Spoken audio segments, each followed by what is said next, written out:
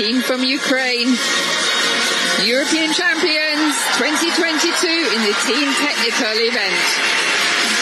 Збірна України з артистичного плавання виборола золото на чемпіонаті Європи з водних видів спорту. Змагання стартували у Римі 11 серпня. Це перша перемога українських синхроністок у командній технічній програмі континентальної першості. Це завжди е, викликає гордість за те, що ти українець, за те, що ти українка, що ми можемо представляти на такому високому рівні свою країну і представляти дуже гарно. Ми цим пишаємось і хочемо прославля- прославляти ще більше свою країну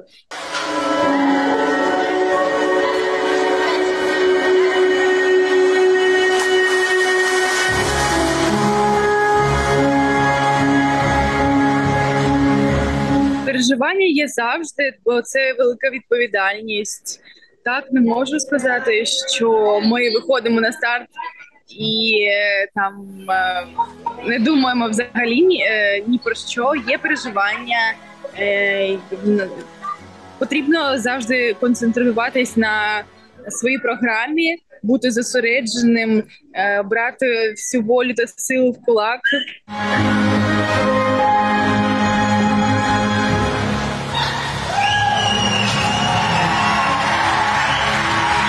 На змагання у складі збірної вирушили 11 спортсменок. Усі харків'янки. Через бойові дії в Україні спортсменки були вимушені виїхати за кордон. До чемпіонату готувались в Італії та Іспанії. Е, З самого початку війни ми були у Харкові. Це був звичай, звичайна ніч, і ми почули вибухи о четвертій ранку. Всі дівчата, вся збірна України.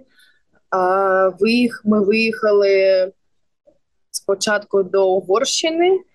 Там нас прийняла італійська делегація, Італійська федерація.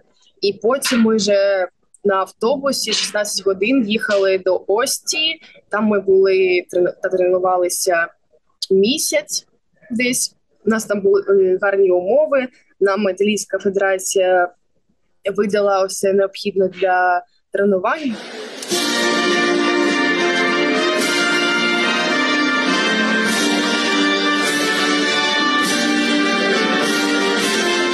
Усі італійці, команда Італії на трибунах, вони також нас підтримують. І е, люди, які нас зустрічають на вулиці, якщо на, на нас написано Україн, то вони також дуже дружелюбно та мило. Ми показуємо свою силу та міць усьому усьому світу. І зараз Україну я вважаю знають е, в кожному куточку, що ми найсильніша нація, і ми це доказуємо кожного дня і намагаємося е, показати це усім, е, не дивлячись ні на що.